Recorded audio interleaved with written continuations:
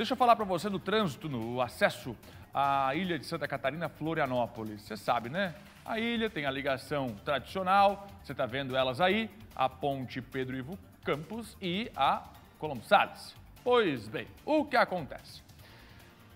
A ponte Ercílio Luz recentemente foi liberada também para o trânsito de veículos de, de passeio, veículos pequenos, porque quando da abertura da Ercílio Luz, da reabertura, depois de 30 anos fechado, a ponte ficou exclusiva para veículos oficiais e transporte coletivo. Depois, depois deste teste, decidiram liberar também para veículos de passeio, para mim, para você, para quem quiser passar por lá. Pois bem, no entanto, o acesso a Ercílio Luz vem registrando filas, especialmente nos horários da manhã, por conta do trânsito que afunila quem vem ali da região do Estreito, né?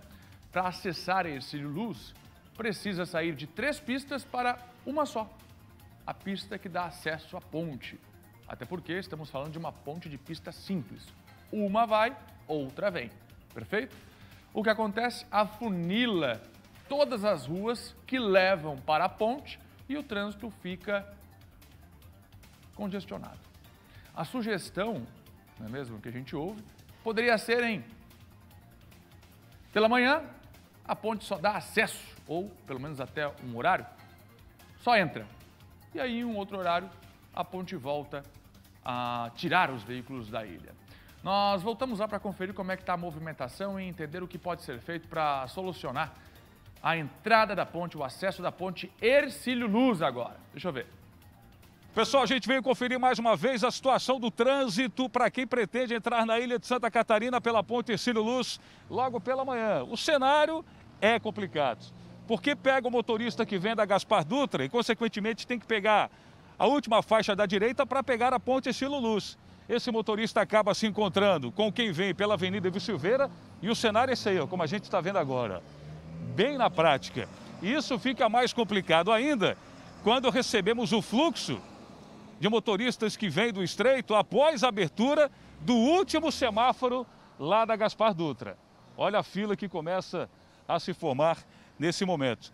Trouxemos vários especialistas para falar a respeito desse assunto.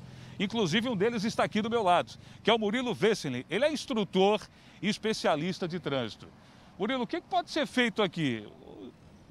Multiplicar a dose de paciência para quem pretende entrar na ilha de Santa Catarina? Ou pode ser feito alguma coisa, talvez uma faixa reversível e ajudar? Será que sua faixa reversível iria ajudar nesse cenário? Não, porque lá na frente ele tem que pegar automaticamente a direita para pegar esse luz.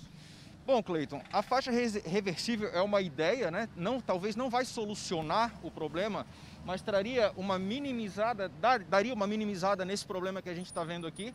É, a ponte Ercílio Luz, que era para ser uma, uma válvula de escape para auxiliar no trânsito que a gente tem na ponte Pedro Ivo, acaba sendo, nesse momento, talvez um canal principal para quem quer acessar as ruas do centro ou até mesmo a beira-mar norte. Então, é, em quatro faixas que a gente está vendo aqui, na Eurico Gaspar Dutra e também na, Avenida Ivo Silveira, quando chega na ponte esse luz tem que se transformar em uma faixa, é um grande funil e a gente acaba vendo esse congestionamento que está acontecendo agora. Porque o motorista ele não tem o que fazer aqui, né? Se ele vai pegar esse cílio, ele tem que entrar aqui nesse ponto. Porque se entrar lá na frente, ele vai entrar muito em cima.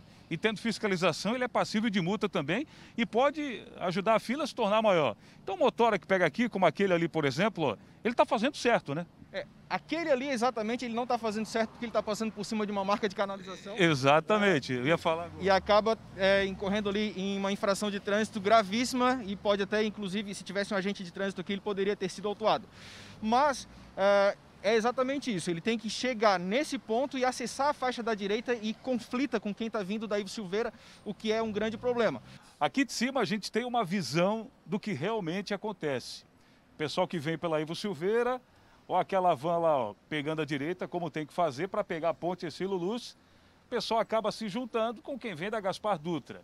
E é aquilo que a gente falou agora há pouco, quando abre aquele semáforo, a situação fica complicada, e aí quem vai pegar a ponte depende do bom senso do motorista para pegar uma vaguinha para não ter problema lá na frente. E principalmente não ser multado quando tem a fiscalização.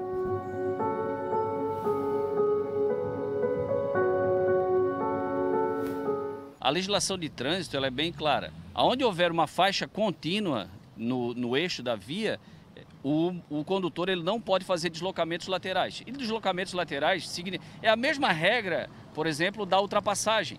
Se eu estiver numa faixa contínua, eu não posso fazer um deslocamento lateral. Então aqui também, né, nessa situação, eu não posso sair da pista, por exemplo, da pista da esquerda e tentar ingressar na ponte aqui, é, logo após a, a, marcação que nós temos lá, que, que, começa ali a uns 5 metros antes da faixa de pedestre. A partir daquele ponto, o condutor ele não pode mais fazer um deslocamento lateral. Foi levantada essa possibilidade de fazer talvez uma faixa reversível, como acontece na SC405, ou é muito cedo ainda para isso ser estudado, na opinião do senhor?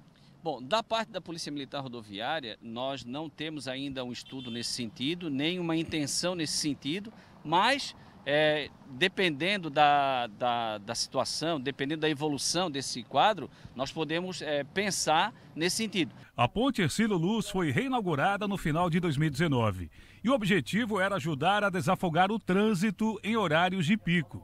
A fiscalização na área urbana pertence à Guarda Municipal, que não atendeu a nossa reportagem. Na ponte, quem fiscaliza é a Polícia Militar Rodoviária, que afirma o trânsito melhorou com a reabertura da Estilo Luz. Mas, como sempre, tem os bons e maus motoristas. Maioria consciente, uma maioria que ela é educada, uma maioria que é, se preocupa. O professor Roberto é presidente da ACE, Associação Catarinense de Engenheiros, e também especialista em trânsito. Para ele, o problema é histórico.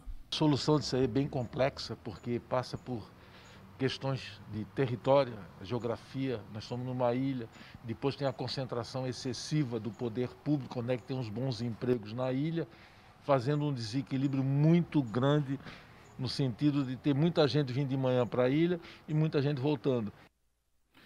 Muito bom, Cleiton, muito bom. Olha aí.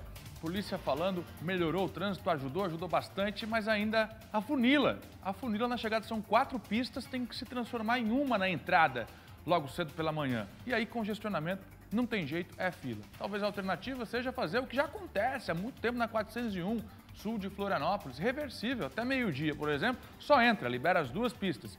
No período da tarde só sai. Por quê? Pela manhã, quem quiser sair, tem a Colombo Sales, não tem fluxo nenhum. O fluxo está na Pedro Ivo para quem está acessando a ilha de Santa Catarina. Alternativas, alternativas. Já mudou, né? Antes era só para ônibus, agora já é para casa para veículos de passeio e provavelmente as coisas ainda vão continuar evoluindo na Ercílio Luz para que ela ajude a mobilidade.